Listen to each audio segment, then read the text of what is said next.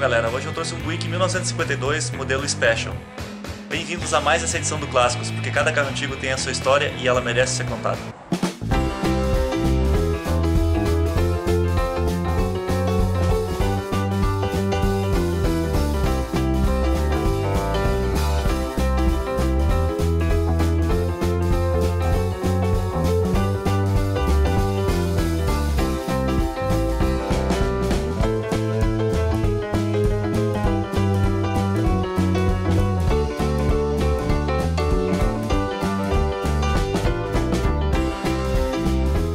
Quem não sabe a história, a Buick é uma, uma divisão de luxo da GM nos Estados Unidos e esse aqui era o modelo mais básico, esse é o modelo Special, né? o modelo mais simples da Buick na época, em 1952. Ele tinha como grande diferencial a transmissão da Dynaflow, eu vou falar um pouquinho mais sobre ela depois, mas ele não tinha nem direção hidráulica, né? a direção dele é uma direção normal.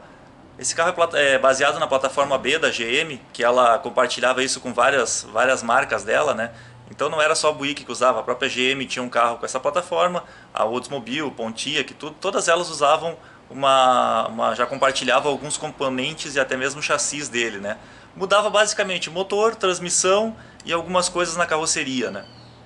Esse é um carro que é considerado full size, né? Na época, o que era o full size? Full size era um carro que era para seis pessoas, ou seja, para a família inteira, e que tu pudesse viajar com bastante conforto. Uh, esse conceito de full size ele acabou sendo mudado, né? Hoje o full size é considerado um carro de cinco lugares com bastante conforto, ou seja, bastante espaço para todos os ocupantes e mais as malas necessárias para uma viagem longa, né? Vamos dar uma voltinha para ver como é que ele é?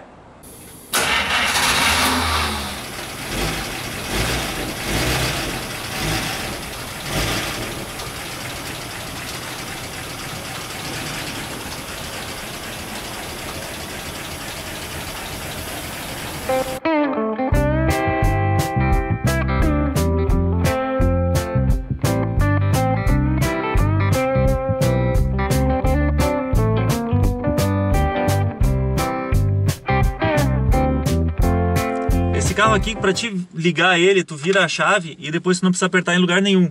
Basta garantir que tu esteja no P ou no N, né? E a, tu pisa o acelerador até o final. Freio de mão dele também, né? Tipo de caminhonete, ou como era nos carros mais antigos, ele é no pé. Ele não tem, não é um freio de mão mesmo, né? O freio de estacionamento é no pé.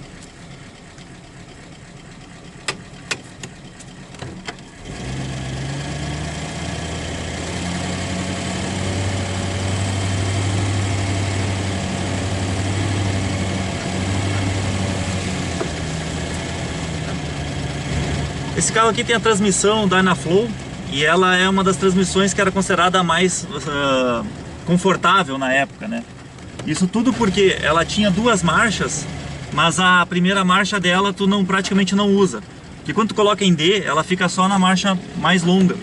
A marcha mais curta dela tu só coloca em situações mais específicas, quando tu quer subir uma, uma lomba ou quando tu precisa de realmente muita força.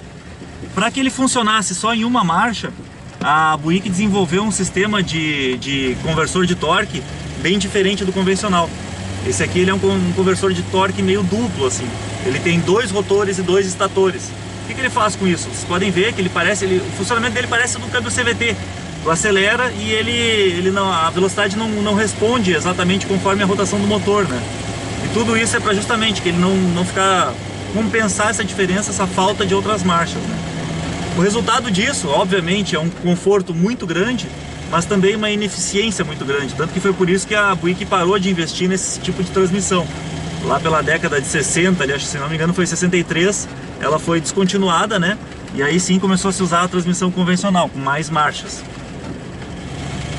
Ele tem motor 8 em linha, né? ele é 4.3 litros e ele não é um V8, ele é 8 em linha, tipo do Opala, assim, só que um pouco maior ainda, né? Esse carro aqui ele é um carro que, se vocês analisarem bem, uh, vão ver que assim, o estado de conservação dele não é um estado de um carro zero, né? Por quê? Porque esse é um, é um tipo diferente de, de antigo mobilista. É aquele cara que gosta de preservar o carro mais original possível.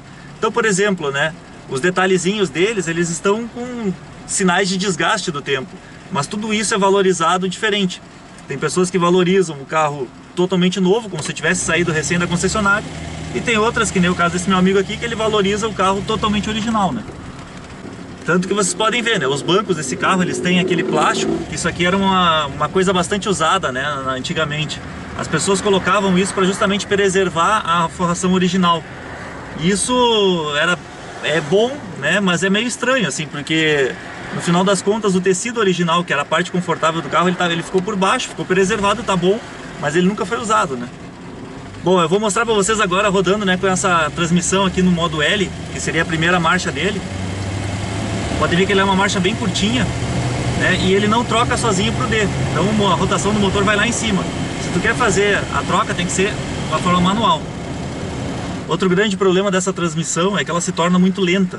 Esse sistema de, de uma marcha só, ele acaba tornando o carro muito devagar. Então tu vai arrancar com força, ele realmente demora. Ele gasta combustível e demora para se locomover. Mas na época, né, isso também não era tão valorizado assim nos Estados Unidos, porque Lá o petróleo, a gasolina era muito barata, né?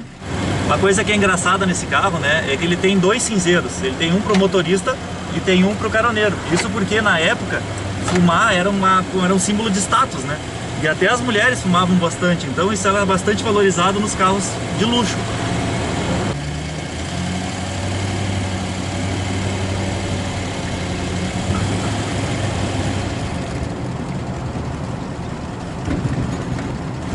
Carro aqui tem um negócio bem engraçado, que é esse manípulo aqui em cima do espelho, e na verdade ele serve para que a antena do rádio desvie, né, quando tu vai entrar em algum lugar que ela, pra ela não bater em cima, tipo um portão meio baixo, a entrada de garagem e tudo mais, então ela fica virada aqui para baixo, né.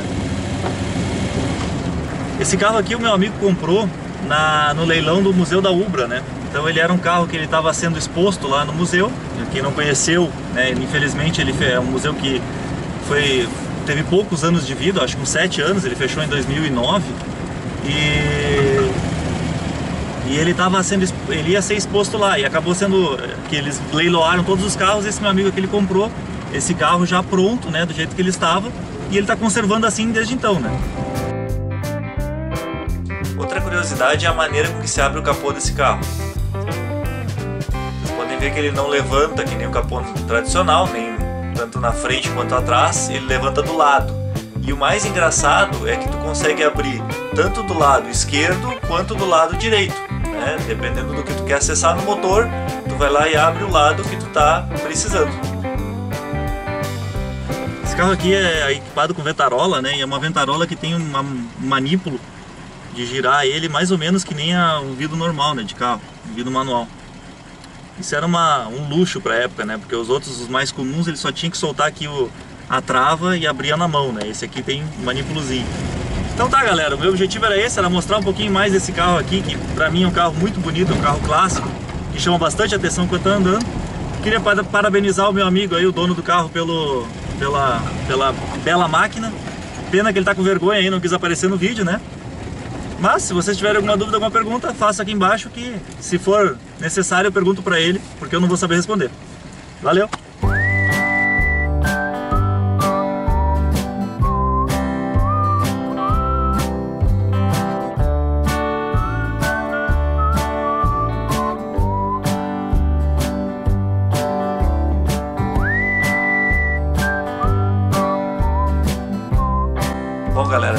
Me ajudem a continuar fazendo vídeos, não esqueça de se inscrever no meu canal.